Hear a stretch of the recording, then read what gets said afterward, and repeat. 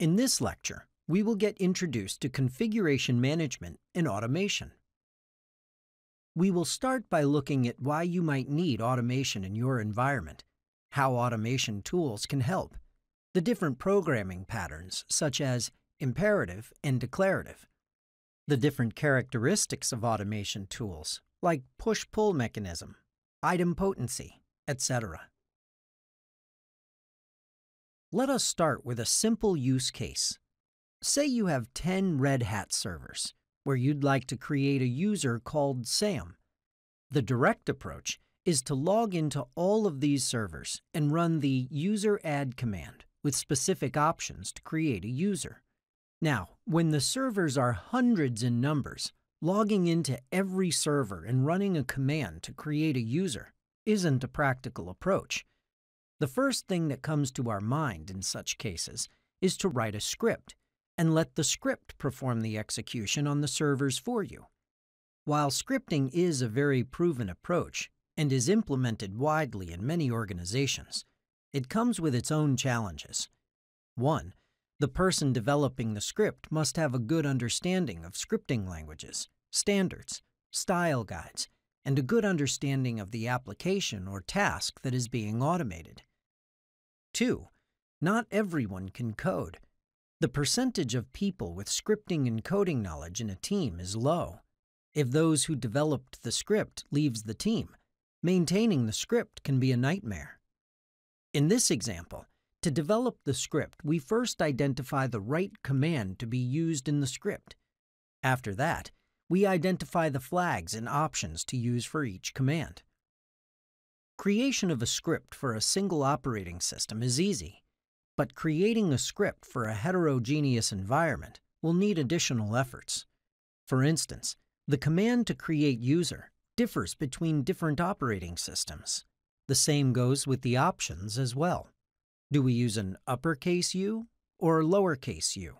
The difference between uppercase R and lowercase r.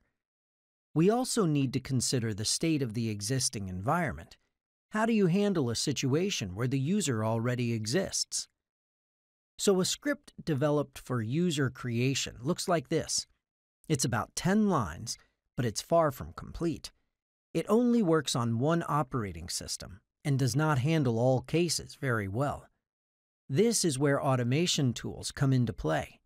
Automation tools like Chef, Ansible, or Puppet provide us with a framework where we can automate the process of user creation in a simple three-line code as shown here.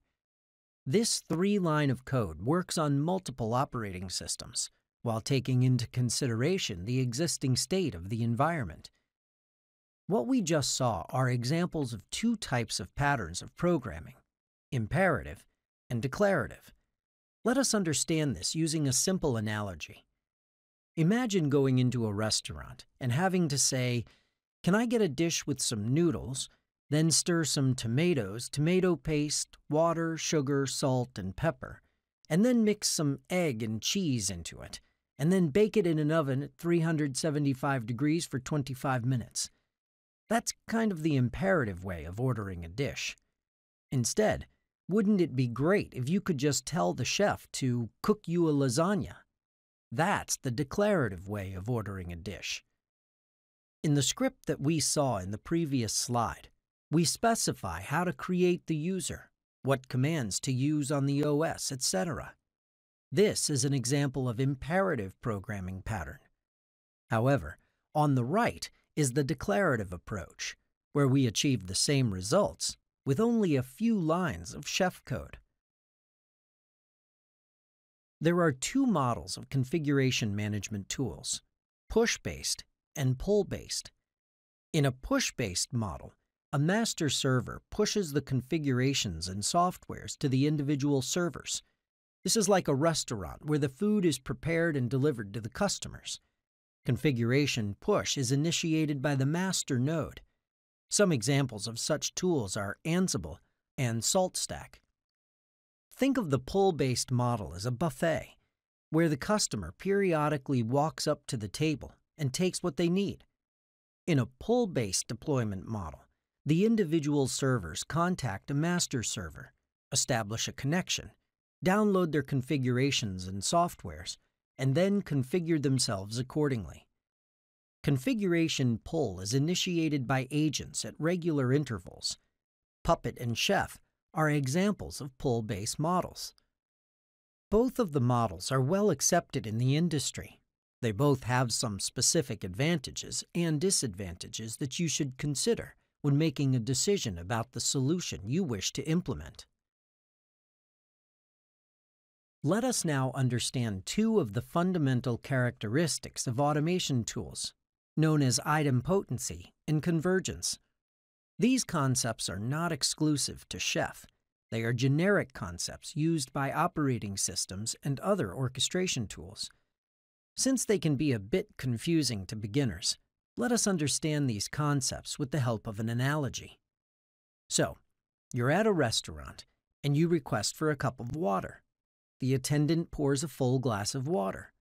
You drink all of it and ask for water again. The attendant pours a full glass of water again. Then you empty half the glass and ask for water again.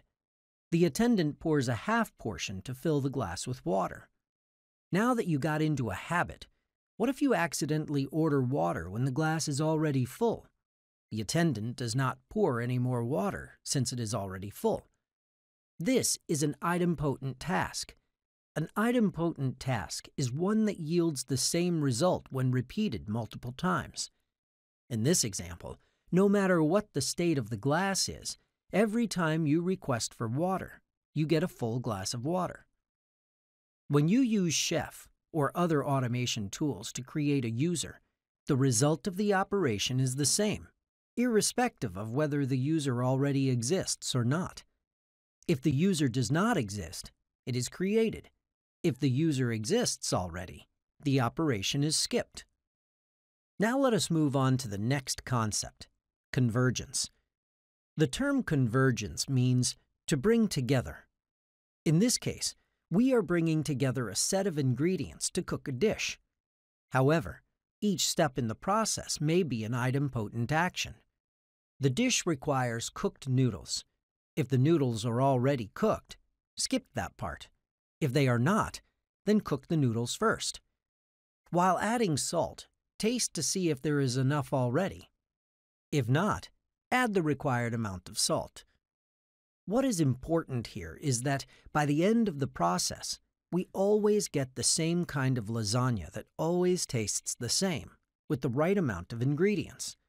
Say, for example, you are trying to create a user with specific attributes, such as the user ID set to 9999.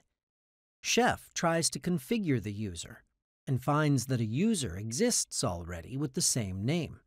So it skips the part of creating the user, which is an idempotent action. However, the user ID is different than the one we requested for.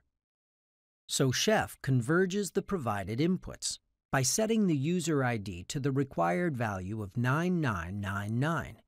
At the end of the operation, Chef ensures that the state of the user is what we requested for. So in this lecture, we discussed why you might need automation in your organization, how automation tools can help you automate without learning any complex scripting languages and across heterogeneous environments, we understood that automation tools employ a declarative programming approach that is easy to pick up. And finally, how idempotency helps us ensure the system is in a desired state. Well, that's it for this lecture, and I will see you in the next. And before you go, don't forget to subscribe to our channel for more videos to learn complex technology in a simple way by solving fun coding challenges on real environments right in your browser. Visit kodekloud.com.